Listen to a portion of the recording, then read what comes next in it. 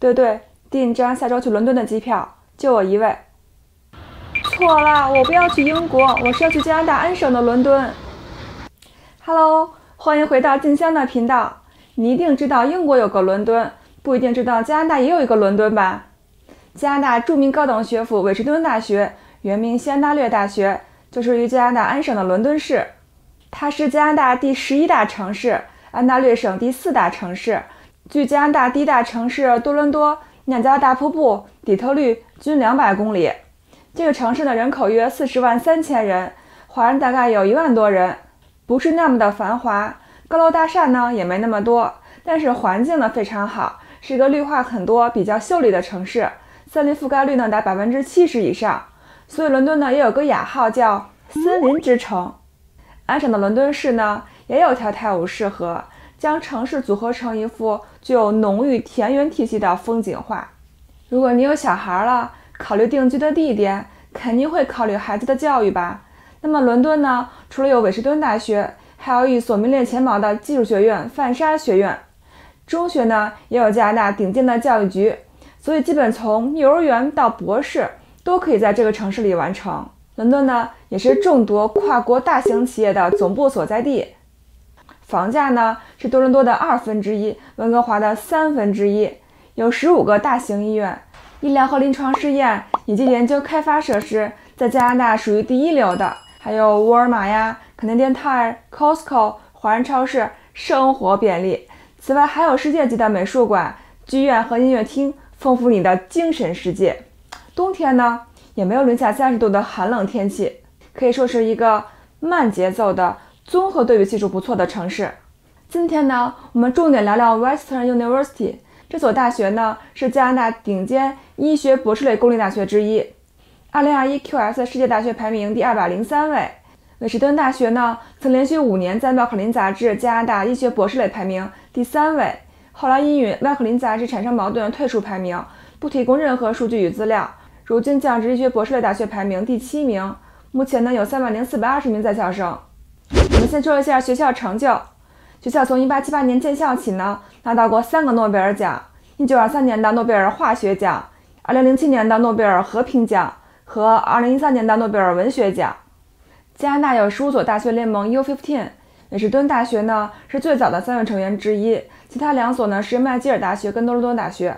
这十五所学校呢每年会定期开会，讨论科研成果以及未来的发展方向。U15 的领导呢。是十五所大学的校领导轮流担任，百分之八十的硕士和博士呢都产生于这十五所大学里。第三点，一九二零年呢，弗雷德里克·班廷爵士呢在韦士顿大学发现了胰岛素。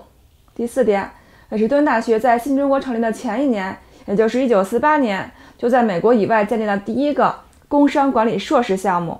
第五点，华裔教授康之勇呢研制出了第一种也是唯一一种预防艾滋病的疫苗。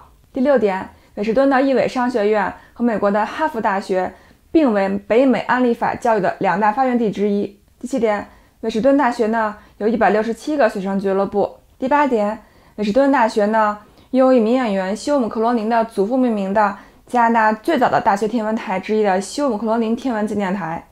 麦金托什美术馆呢则建于一九四二年，是现今加拿大最古老的大学美术馆。这些呢是韦士顿大学的主要科系。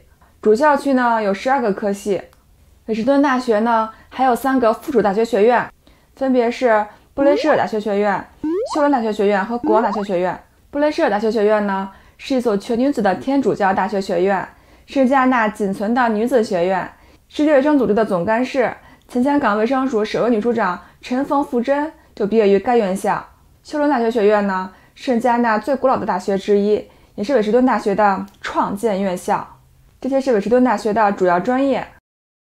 因为韦士顿大学呢有三个附属校区，所以上课模式呢很灵活。本科拿到二十学分呢可以毕业，按四年毕业计算呢，每年拿五个学分。如果是主校区的学生呢，可以三个学分在主校区修，另外两个学分呢选主校区或者是附属校区都可以。如果是国王大学学院的学生呢，三个学分要在国王上，另外两学分呢可以选其他校区。主校区的正课开学时间呢有两个，九月和五月；附属校区呢是一月和九月。所以如果学生把选课模式打散来选，那么一月、五月、九月都可以上课。那么，韦士顿大学的学生学习压力大吗？韦士顿大学呢，百分之十三的国际学生呢，来自于全球的一百二十七个国家。关于学习压力呢，我们可以从这组数据中看一下，韦士顿大学大一新生的录取成绩平均分为百分之九十点一分，完成第一年学分的平均分呢是百分之七十三点三分。这说明学业呢还是有一定压力和难度的。这平均分呀，如果是上研究生或者转到一伟商学院呢，肯定是不够的。但如果只是毕业拿学分，这个分数是足够的。刚才我们提到了一伟商学院，自一九二二年以来呢，韦士顿大学的一伟商学院呢一直在培养顶级的商业领袖。一伟商学院呢，除了接收高中毕业生，也设置了一个 HBA program，就是二加二项目。这个二加二项目好呀。是什么呢？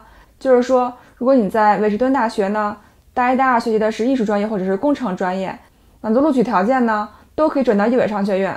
比如呢，如果你是韦士顿大学工程学院的学生，平均分只要达到百分之七十八分呢，就可以申请到一伟商学院。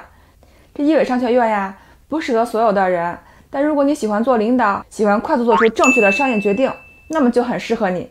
接下来说几个热门专业吧。第一个就是管理与组织研究专业，这个专业呢是社会科学学院的其中一个专业，里边的课程呢都很热门。同时在三个附属校区呢均设有本专业，注重四个核心管理领域：会计、消费者行为、金融和人力资源管理，偏重于商科理论，采用基于证据的方法教学生如何在决策中使用证据。第二个是工程专业，北士顿大学的工程专业呢成立于1954年，是加拿大略省。第三所提供工程课程的大学，在工程专业的九个重点项目中呢，学生不仅有机会在课堂上学习理论，还可以通过实习、国际交流、学生俱乐部和社区参与方式参与体验式学习。工程专业呢和一伟商学院呢有很强的关联性，和一伟商学院呢一起合办了双硕士，这样出来呢，你就是个会做生意的工程师了，对吧？韦士顿大学呢具备完整的录取模式。包括直录和双录。关于录取呢，国际学生的直录条件是雅思六点五分，达到呢可通过 OUAC 网站申请主校区或者是附属校区。九月开学。如果学生呢本来以为雅思呢能考到六点五分，并且通过了 OUAC 网站申请了学校，雅思分数出来后呢，一看不到六点五，但是总分呢达到了五点五分，写作单项呢六分，学校呢会自动发一个 English Boost Program 的 offer。但是需要呢学习九个月的语言，七月开学。这样呢，学生虽然牺牲了自己高中大解放之后的最爽的一个暑假，但至少读完了能直接入学。而且这个项目呢，也适用于研究生申请。此外呢，针对于零语言双录取的学生呢，韦尔顿大学呢还提供了 AEP 项目，一共四个级别，每个级别呢是四个月。但是后来呢，如果你雅思考到了七分了，也不会免掉你双录取的语言学习。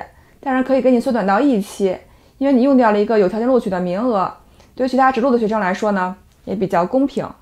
那么我们再说一下中国的高中生申请韦士顿大学的本科的录取分数。主校区呢是需要高中成绩达到八十五到九十分的，附属校区呢需要达到八十到八十五分。会考成绩呢尽量不要出现 C。关于高考成绩呢，主要就要求学生参加或者提供高考成绩，但是并没有提到要求多少分。这样看来呢，加拿大大学呢是比较注重学生的平时的成绩的。像这种一考定终生的说法呢，在加拿大就不存在了。所以，如果是在中国，高中平均成绩还不错，但是高考失利呢，就别再浪费时间复读一年了。有条件呢，就来加拿大上学吧。接下来我们说一下每学年的学费和宿舍费用。大多数专业的学费呢，是从三万一千零四十二加币到三万八千六百一十一加币。工程专业呢？是四万一千三百一十二加币，护理专业呢是三万九千八百三十六加币。学校的宿舍呢是分两人间到三人间，是从七千四百零一加币到一万加币。但是学生呢其实也可以选择在大学校外住宿，比如跟比较好的朋友呢一起合租一个房子。如果你是在学校外找一个房子租呢，应该是比你在校内的宿舍要便宜的。但是由于是在校外租房呢，要注重这个社区的安全问题。以及离学校远近的问题，但如果住宿舍呢，一般室友呢是你不能选择的，是学校给你分配好的。在我读研的时候呢，我住过一个五人间的宿舍，呃，每个人都有独立的房间啊。然后这一到周末吧，我们这个客厅呢就沸腾起来了，什么摔酒瓶子声啊，呃，争吵声、欢呼声，我天哪！所以如果你是一个喜欢安静的人呢，那么如果你遇到了一个特别闹腾的室友，就有的你受了。所以如果是在校外住宿呢，只要你可以选择一个跟你性格相投的朋友做室友。好了，今天的加拿大大学探索系列篇就到这里啦。未来呢，我还会探索更多的加拿大大学，不想错过呢，就订阅我吧。综合来说呢，安省的伦敦呢，虽然缺少了大城市的繁华，但它的安静与秀丽也算是定居和留学目的地的不错的选择。